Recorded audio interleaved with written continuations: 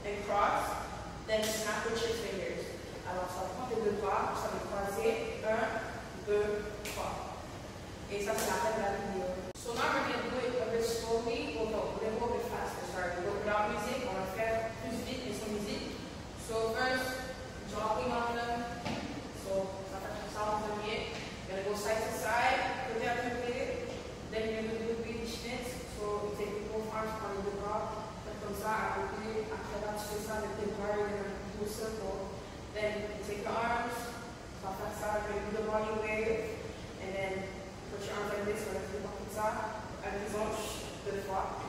And after that, you're going to do